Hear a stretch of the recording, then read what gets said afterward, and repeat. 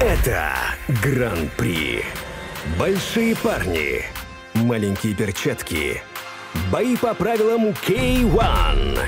Позади четвертьфинала, который побил рекорд по нокдаунам. Мы видели, как бойцы падали, вставали и побеждали. У тебя был бой против Ахмеда Закиева. Как ты упал?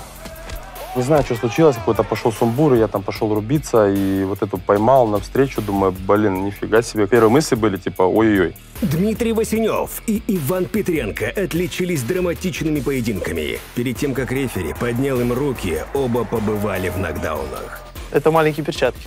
Глаз перестал видеть, вот. А мы же падаем не от тех ударов, которые видим, а от тех, которые не видим. Все остальные раунды я забрал. Два высоких, пластичных бойца, заряженных ударной мощью сверху и снизу. Он чемпион мира по тайскому боксу, я чемпион мира по тайскому В боксу. одной Он- весовой. Да, в одной весовой, но в разные года. Наш бой ждали. Я думаю, что вот завершение этой истории будет очень классно, особенно вот в рамках э, Гран-при RCC Fair Fight, и тем более маленькие перчатки. Мне кажется, это очень И очень тем более кикбоксинг. Дважды их поединок должен был стать украшением чемпионата России.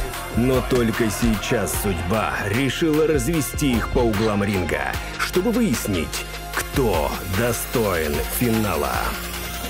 Да я всем лучше, Дим. Давно ли ты стал лучше меня? Всегда им был. Ты так уверен в своих словах? А ты что, сильно уверен? Я очень уверен в своих словах. А чем ты уверен?